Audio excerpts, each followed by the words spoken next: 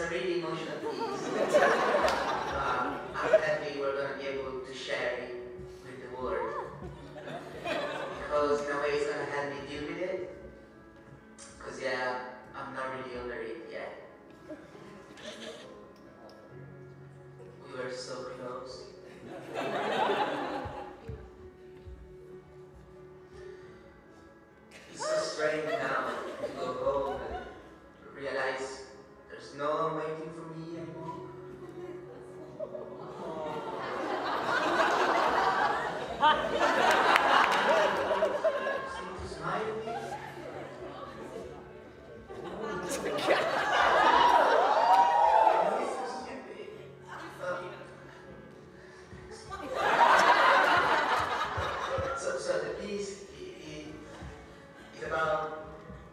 It starts with my initial despair and, like shows the ways I tried to deal with it,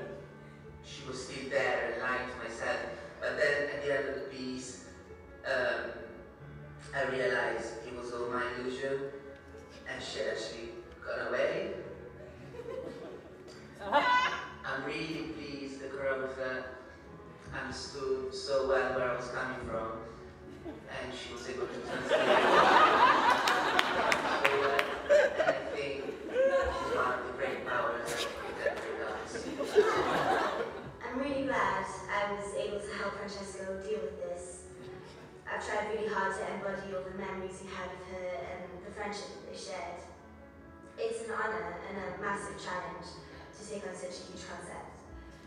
Like these two entities that separated but still somehow so connected.